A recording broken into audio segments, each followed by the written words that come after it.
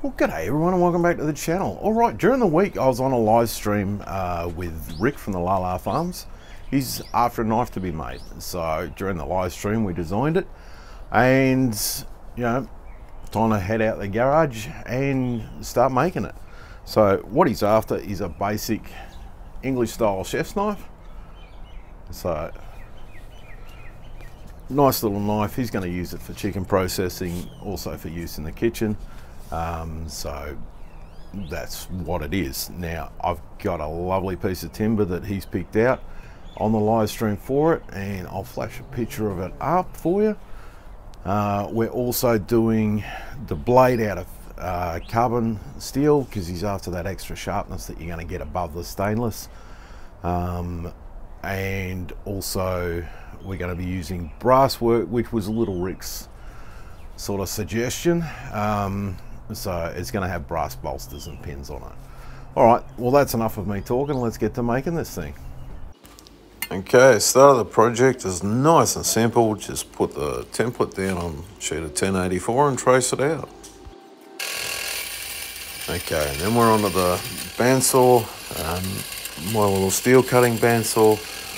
Just cutting out the template into the rough shape that I'm after. So as close as possible, I'll follow the contours of the knife, um, just so I don't waste any steel and also to leave me less grinding. It is a wee bit hard to try and get into the curves and that sort of thing.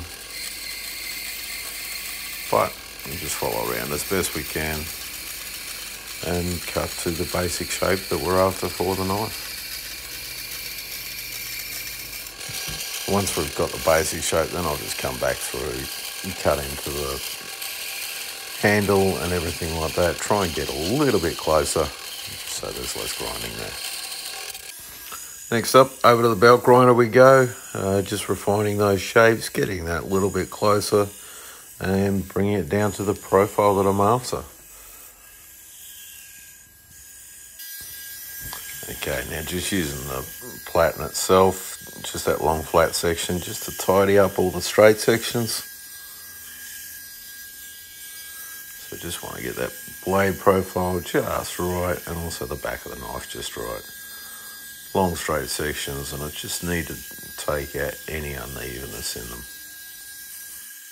Okay, now we just refine the shape of the handle, just that curve on the back end of it and then up onto the wheel at the top, just into the curves there, just refining down, down that shape, trying it as we go along and making sure it fits the hand well.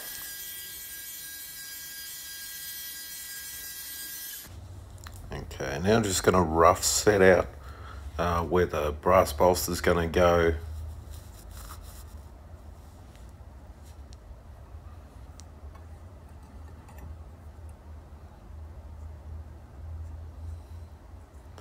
And from there I can work out where the pins are going to go. I just generally hand mark them in. Uh, I find my eye tends to be pretty good for working out the location of them. And next up, just using a center punch just to punch those holes in. Uh, this is a self-drive center punch. So just give myself a dimple there so I can start the drill in it. Okay, next up using a wood backing piece and the pedestal drill. First of all, I'll go through and mark each of the holes. So just put the tip of the drill in. Okay, now drilling those holes out. Just going to put a little bit of a lubricating fluid on there uh, just to help keep the bit cool and help it go through the metal that little bit easier. So this bit I'm running through is an 8 inch bit and then we're going to go back through with the quarter inch bit and do the back holes for it. Okay, swapped over to that quarter inch bit, a little bit of lubrication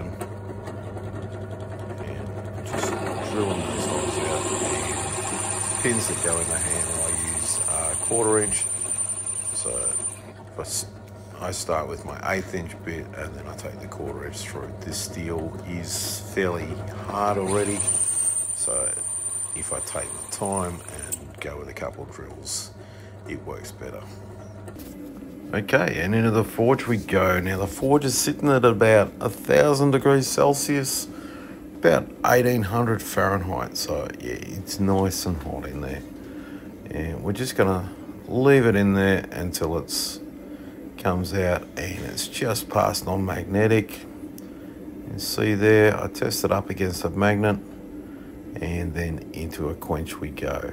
Um, just using a canola oil for it. So just quenching it down in the canola oil, taking the majority of the heat out of it. And from there, we will just go across into a plate quench. Just checking for straightness on the way. I just want to have any bow facing upwards so I can clamp it down and try and pull that bow out of it. And on goes the top plate and then we start clamping it up nice and hard just to pull it down as straight and get it where we're looking for.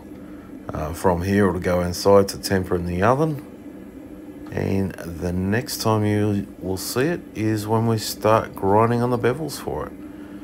Uh, thank you very much everyone for watching and bye for now.